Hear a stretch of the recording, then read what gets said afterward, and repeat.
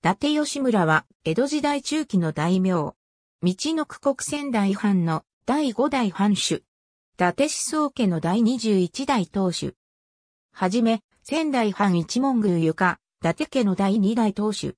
家には14以上、左近衛県中将、陸奥守、増寿三味。仙台藩で初の一門出身で、市政伊達市出身の藩主である。また、歴代仙台藩主中で最長在職の藩主であり、その治世は40年に及んだ。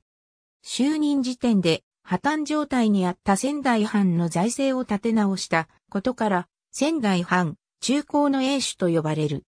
遠方8年6月28日、宮湯が、伊達家初代当主、伊達宗房の着男として、道の区国東岩井郡大原村1月13日、父の死により、家督を相続する。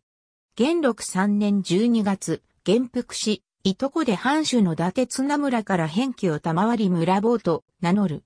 元禄6年の一門による藩主、伊達綱村への還元書提出には、年少のため、名を連ねていない。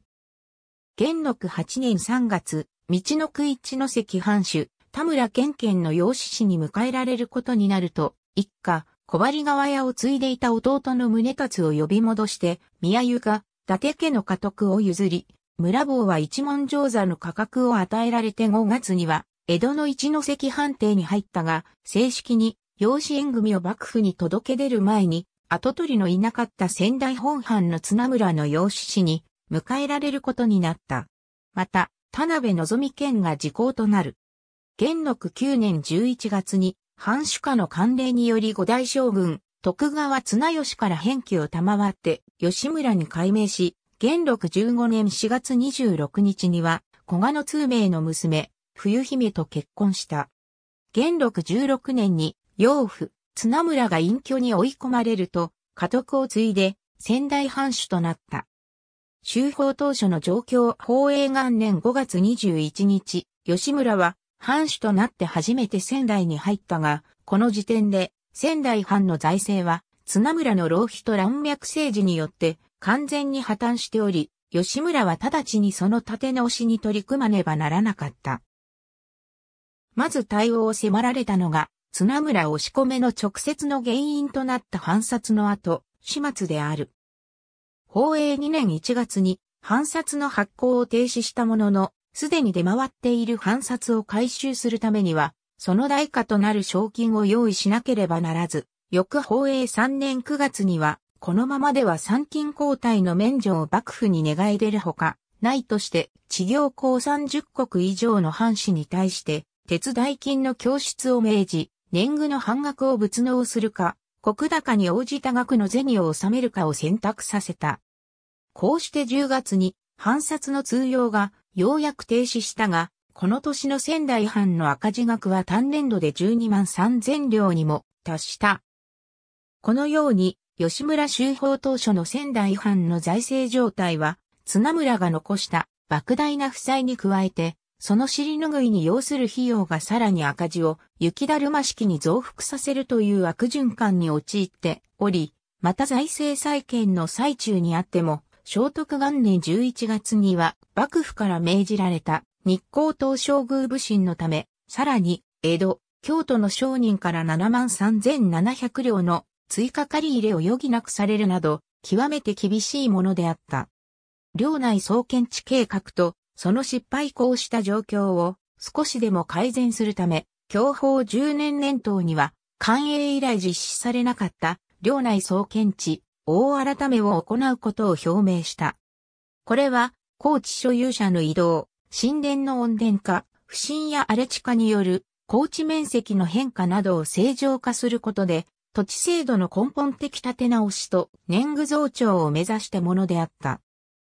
しかし、温殿が不作時に年貢負担の不足分を補う機能を果たしていること、一門など上級家臣のみならず、中、下級家臣に対しても地方地行政が行われていた仙台藩においては、下級求人や陪審が地行地の一部を直接工作することで家計を維持していることから、保国寺名義の意見書に代表される一門層をはじめとする家臣側の反発が強く、半年後に事実上中止となり、翌年には検知の担当者であった出入士の岩淵康次、木戸優延が責任を取らされる形で処罰されている。以後、仙台藩においては、領内総検知が実施されないまま幕末を迎えることになる。役職整理、貨幣鋳造、海米司法一方で役職の整理を進め、享保11年に屋敷奉行と兵具奉行を兼務とし、不審奉行を廃止して、その配下の不審方を出入士の直轄とした。また、享保14年には、軍奉行を8人から4人に減員し、享保16年には、龍ヶ崎奉行を廃して、職務を軍奉行の倹約とした。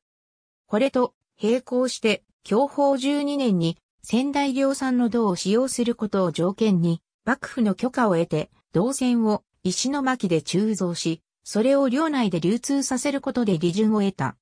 また、海米司法を再編強化し、農民から余剰米を強制的に供出させ、江戸に改装して監禁した。18世紀初めから中頃にかけての江戸市中に出回った米のほとんどが仙台産であったと言われているほどである。享保17年、西国で享保の大飢饉が発生すると、この年欧州は豊作であったため、大量の米を江戸に送って売りさばき50万両を超える収益を上げた。このため、反財政は一気に好転し、ようやく単年度での黒字を実現できるようになった。漢方三年七月、四男、久村に家督を譲って隠居し、袖が先の下屋敷に移った。法暦元年12月24日死去。去年72。伊達忠宗、伊達綱宗、伊達綱村。伊達村京伊達村だね。伊達宗房、伊達吉村。